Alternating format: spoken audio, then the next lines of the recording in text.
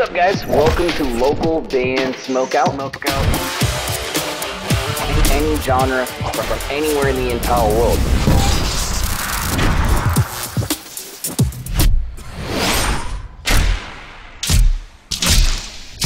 I, I want to hear your music. Which should be that right there. I think we're ready to go. Ladies and gentlemen, Nayrock! Hell yeah!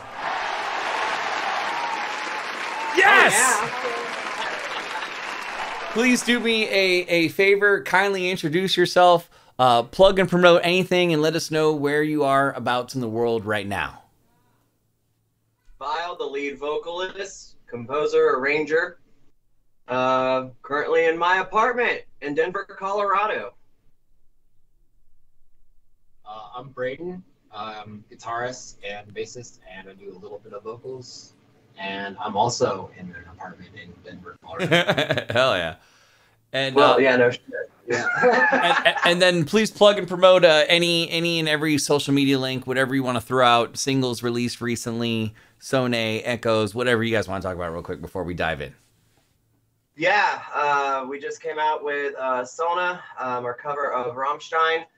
Uh, Echoes from a Distant Past. We just did a music video for that, and we have more coming on the way.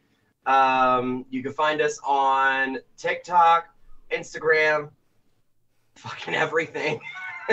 we are absolutely everywhere. Um, yeah, that's pretty much it. I mean, it's easier to find us on other social media platforms. I still haven't figured out how to change the uh, URL link on Facebook. You just call me call me on on on Sunday, and uh, I'll walk you through it, and we'll we'll get it knocked out. Gotcha, gotcha. How did how did you two meet? Um, it's kind of uh it's not a super interesting story. Um, there's this app called Bandmix, and I was on there one day, and you know, I I like to play with people. That's kind of my thing. I like to you know jam out and have fun. And um, Bandmix is kind of split between two people. You have people who are there putting themselves out to try and get people, but there's uh, kind of a uh, pay to meet people kind of thing on there.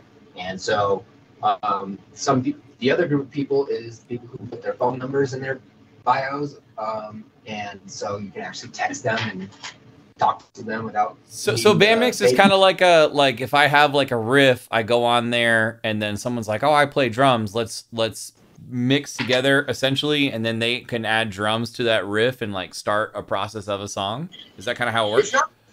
Yeah, it's not so much of a sense of like you're like sending songs out to people as much of you are sending out like you're you're making a profile of yourself. It's kind of like Facebook, but you're only trying to find people to play with or find bands to play with or or find like venues to play with or such and um, you find other people on there who want to play and you can message them and and meet up and play and sometimes it's good sometimes it's not and um, Jesse put his phone number in there, and so I was able to text him. And uh, from the moment we met, I knew right away that this was going to be a good thing. You know, him and I have a very similar energy, and we get along really, really well. You know, you know, from the moment we met, it felt like we'd been best friends for years, and so it's you know, if BFF. yeah, That's everything came awesome. really, really That's awesome. And then how how does the name Nayrock get formed, and what does that mean? Oh God. Um, before Naerok. Um, Oh, I've been saying it wrong every time, so it's Naerok. Yeah, you have, but you know I'm too polite to correct. But it's okay. Uh, I'm sorry. I've heard worse pronunciations. I feel like it's one of those names where unless you hear the band actually pronounce it, you're usually gonna say it wrong. So it's, it's Yeah. It's all right. It's all good. So our previous name was Aeterna, which explains the Facebook URL. Um, then I found out from um, a previous member of ours that there was uh, 13 other bands that had the same name, and that's when I was like, okay, I don't want to be that dick, and you know, copyright that name and take it from other bands. So I just I went through a year and a half long process of trying to find a name that one wasn't taken, two wasn't too similar to anything else, and three was somewhat easy to pronounce. Obviously, I failed on three. Um, so Naerok, I got I got um, the idea of Ragnarok in my head. Of course, that was taken. So I decided to shorten it and fuck up the word. Just uh, the last part of Nar- uh, Narok and change the some of the letters. Like there's the ash symbol, then there's the apostrophe above the R. And yeah, I mean it's nothing too special, but you know, I just like to know the Like- the creation. What what kind of mask do you have on? Who who made that mask? That thing is wicked cool. Um, I, oh God, I can't remember the name of the artist, but there's this uh, German guy, well, out of Germany, um, that made this for me. Um, it's a blind mask, but you can still see kind of like through it and everything. Okay. Um, I've got a few more on the way that is like full, like with everything on it that uh, we're going to be using for our upcoming photo shoots and promos and well, shit like that. Um, definitely concerts. I'm all about having a mask on. I love it. It's pretty cool. It's better than having face paint and then my hair sticking to my face the whole time. I think That's that's that's like crazy detailed too. I'm looking at over here. That thing, and I like the the symbol right in the middle. That thing is dope.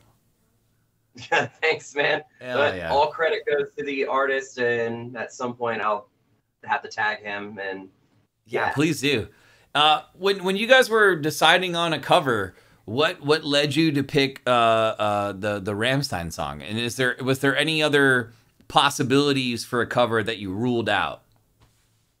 Well, we already did uh, one Rammstein song before with our, our friends in England, uh, Death Pigeon, um, the song uh, Mutter.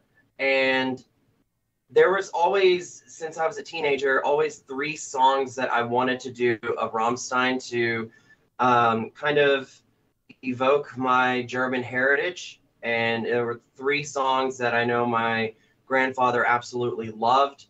So it was Mutter, Sonne, and well, eventually people are going to find out after watching this.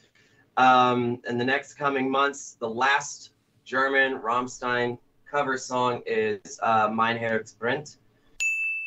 So that's why. Got you. Hell yeah. And then hold up hold up the hot sauce that that you guys brought for for for today. And uh before before we get to that that section, nice little teacup of hot sauce right there too. it is. It's a Chinese. It's a little Chinese teacup. I'm gonna I'm gonna grab some hot sauce over here. I've got some IPA uh, mixed beer hot sauce, I guess you'd say. But the cool thing is, uh, and we're gonna still ask questions, but I wanna I wanna see if you can get the trivia right. Obviously, if we're, if we're suffering on hot sauce, then it makes it a little more fun. But uh, what movie or TV show, if if Vile and, and Braden, if you guys could agree on one or the other, a movie or a TV show that you've seen the most, or if I look up trivia on this, there's no way I could stump you because it's you've seen it the most. There's just no way. Oh God. I don't know what series have you watched? We've watched- Futurama. Oh god, it's got to be Futurama for me. you're gonna hate me. I've never watched like I've never sat down and watched a full episode of Futurama before. I hate you. You're out. What about a movie? What about is there a movie you guys could agree on? Because to me, a, a show is harder, but I can go with Futurama. That's totally fine. But a movie is a movie. A show might have like 60, 70 episodes. I could pull anything. It's it's your call though. All right, you pick the movie.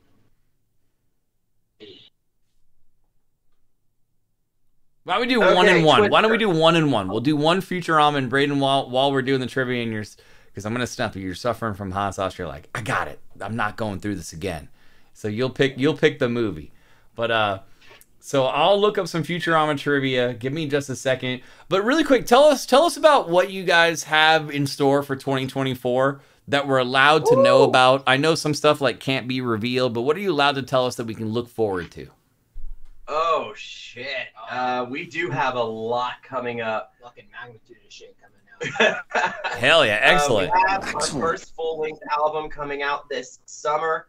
Uh, we have two more original releases planned, with the last one being the heaviest song that we have ever done. Um, Cool. In between the, you know, to kind of satiate our fans. thirst for our music. Uh, we're going to come out with more collaborations, a few more covers, and then the album drops. We have um, a full length music video coming out for Sonne, actually. um, that's going to be featuring quite a bit of the people that were involved in that project. Uh, we have merch that is finally happening. Um, so ex- oh, I'm so damn excited for that. Um, oh God, a possible tour towards the end of the year with some Possible of our friends in the Northwest. Are you are you allowed Uh, to say where you might be traveling on the tour, if it happens? Let's say anywhere between Colorado, Wisconsin to Montana. So you're going up. A few states in the Midwest is, Yeah, like an isosceles. Well, not isosceles, the Yeah. right triangle. but the possibility might be granted more towards a, a an actual like reality once we actually release the album. Once we get a little Yep. closer towards there, like it's it's a possibility right now. But it's, Who's who's doing the production, mixing, mixing, and mastering on the album? Um, that has been a mix between myself and my good friend Alex Rapetti of Severed Angels out of uh, the Northeast. Um, he's been working with us. He, he worked with us on State of Decay, Disturbia, um, Echoes, and Sonne. Um, he freaking brilliant. Oh my god, he's able to be patient with me. because I, I arrange everything. I put all the stuff together, and, unfor- you know I kind of use I use BandLab. I mean, it's not the greatest, but I'm not changing it until after the uh, the album's released, and then I send everything off to Alex, and then he and I, for hours on end every day, we just send things back and forth, a bunch of ideas, and it's been been such an excellent process to work with him. He is such a good guy, and I recommend him to anybody that wants to have um, a producer or audio engineer that is patient.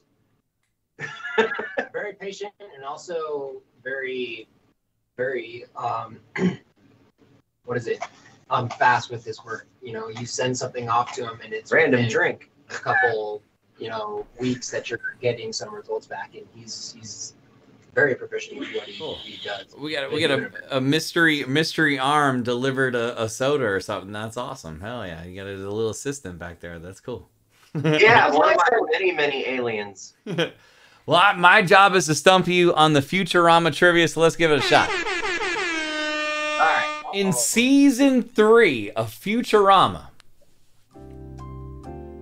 the last episode, there's somebody that goes into a crowd in Central Park Lake and challenges Earth.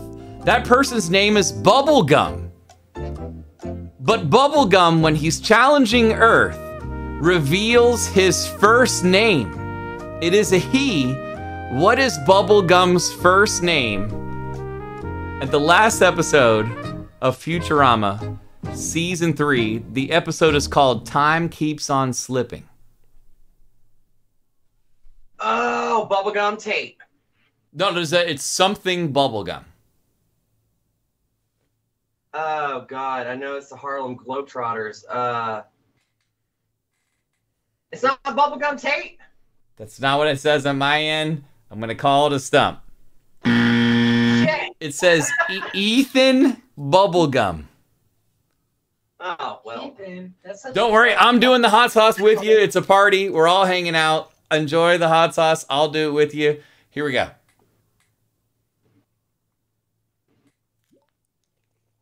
Woo!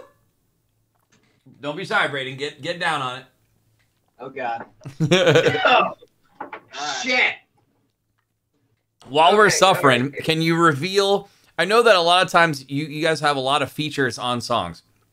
Can you reveal any features we may not know about for a future release? Name drop just one or two artists. Could be anybody. Oh, Uh, Talwar. Um, Steam Slicer. And one that's been in the works for months, Death Pigeon. I would love to do something with Mojo and Anger, uh, not Anger Overdose, but yes, well, Anger Overdose too. But um, Encircled Throne, I would love to see how our styles merge. that Um, would be epic. That would be really. that would be freaking fucking epic. I feel like that's a match made in heaven. That that should definitely go down. Mojo Mojo's the man too. He kills it every time he jumps on a track. He. He does. Oh yeah. Brayden, what movie did you think about during this process where I could look up a movie at the same time? Shoot. ADHD brain I want to say I'm kind of torn. I got like two answers in mind. I'm gonna go with Tombstone. Tombstone. Okay, Hell yeah. probably the best western ever. Dude, fuck yeah. Dude, Val Kilmer, best fucking depiction of Doc Holliday in history. That is top notch fucking acting right there. I, I totally agree. I, I love Tombstone, and I've always I I've never seen this, but I saw that Val Kilmer re did it wasn't Tombstone two, but he did like a Wyatt Earp spinoff where he played Wyatt Earp. Yerp Werp I don't know how to pronounce his last name, but it was like it was like the same movie but like a B version, and he was Kurt Russell's character, which is kind of strange. Oh. I've never heard of that before. That is that's fun wild. That's That- it's kind of strange, right? Same here. I have to fucking I have to look that up. That's some that's some cool shit. when it when I it's when it's a when it's not music day and and let's say it's not hang out with family don't have to go to the nine to five jobs what just makes you guys happy do you have any collectibles hobbies anything you do on, on a non-music day Uh, well, I was thinking about it. I don't know why I chose Futurama because Star Trek: The Next Generation is my go-to. why the hell that didn't pop up in my brain, I don't know. But, um, oh god, I play a lot of games. Um, I'm classically trained at the piano. Um, That's Mm. music related, idiot. He's talking about non music related. well, I'm. You do, dude. That's about it. I mean, I, I, I'm kind of boring. I definitely feel that. I'm very boring too. Other than playing guitar, I don't do very much either. Um, We do go stargazing. we do do a little bit of stargazing. Um, when it's a little bit fucking warmer out, it's too chilly to do that these days. But uh, like teles- Um, telescope style or or no Uh, no, because um, where we live in Denver, we're in the Broomfield area. So all we have to do is just travel a little bit outside, and it gets dark enough, and you're in frame. get out of here. Fucking smoking a three foot bong. Um, so you want to get high? yeah. no, you're a towel. Um, the fuck was I talking about?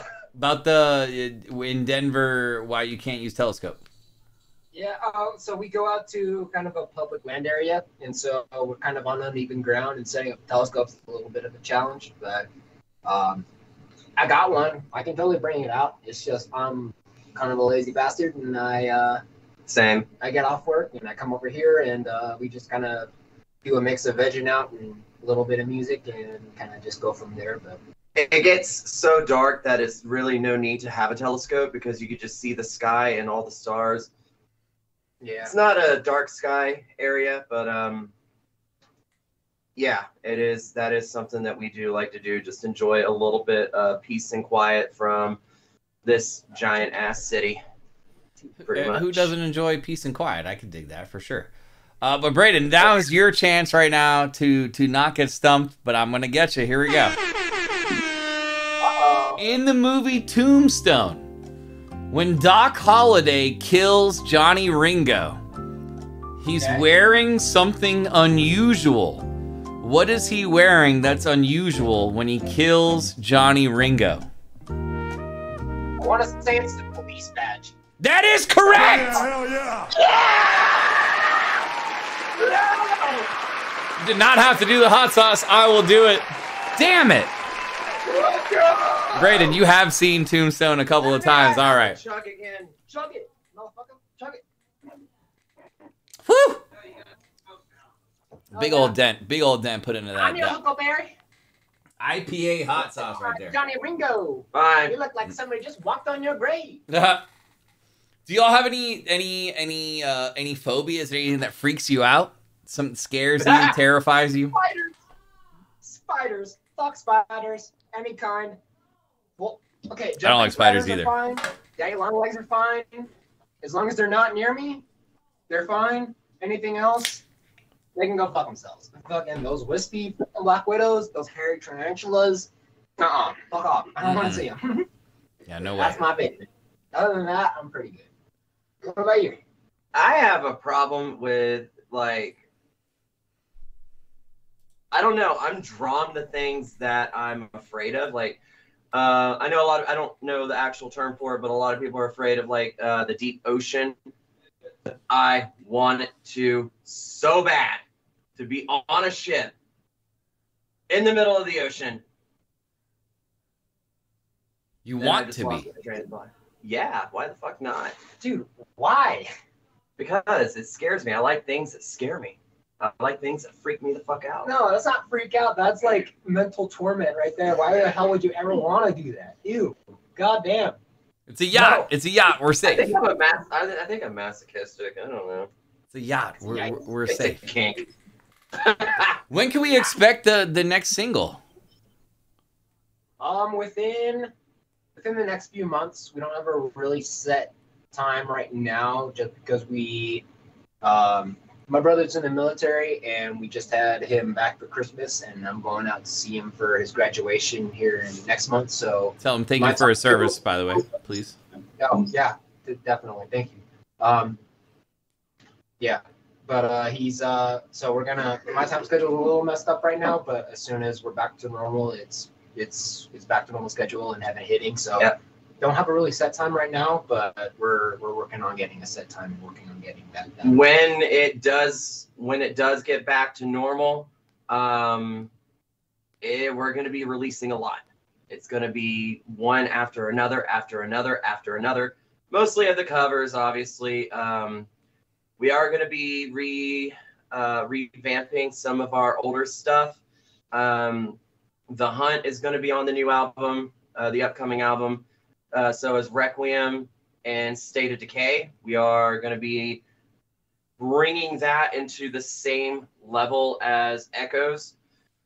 And um, so those songs are going to be, yeah, they're going to, there's going to be like a single version and the, the stuff that's already there. And then there's going to be the album version. If that makes sense. Yeah, Yeah, it does. it's a different Yeah. mix, and maybe it's longer than the single version, stuff like that. I get it.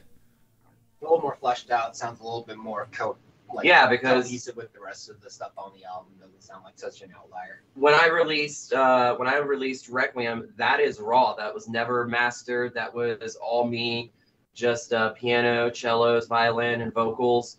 Um, that was our number one song for almost a whole year. And Echoes is doing so damn well now that it's just blown everything out of all of our other releases out of the water. It hit the Spotify algorithm, so it's just sailing on through with the views and shit. That's awesome. Congratulations. That's Yeah. amazing. I'm. It's it's still. I kind of I got to pinch myself sometimes to to kind of you know remind myself that this is you know the real thing. You know that this is actually going as you know as well as it is. You know our songs are doing as well as they are. Hard work pays off. Hard work pays off. I love to see it. Oh yeah.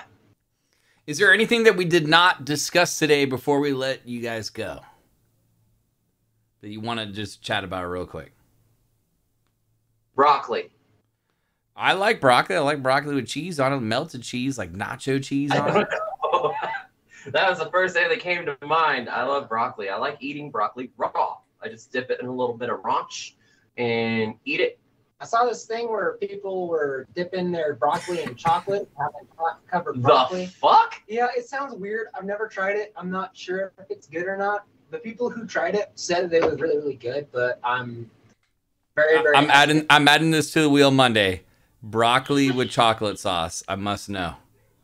I must know if it's any good. It doesn't sound good, but you never know. Science works weird sometimes with acidities. I mean, I, broccoli's. co- I mean, it has a very specific taste, but it's also very bland too. So it might complement chocolate very well, but it also might, you know, might go opposite directions and really fuck with your brain. I don't know. So Yeah. I do want to do a quick shout out to everyone who's been there for us, collabed with us, uh, everything. Um, Mark Thomas of Disaster Theory, who does all of our artwork now. Um, obviously, Mojo from Encircled Throne, he does all of our videos. Mama's Maiden Studio has done one of our videos.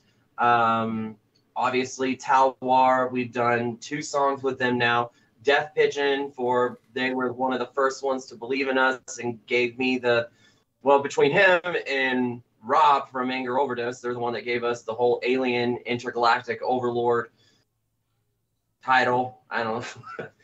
it's been a while, so um, obviously Christina and Greg from Vox and Stix, uh, Atonal Ascent, um, Steam Slicer, who we're going to be doing more shit with and Elizabeth Weaver, who we're doing more shit with because her voice. Oh my god. What about Vokes Vokes Sticks? Vox and Stix.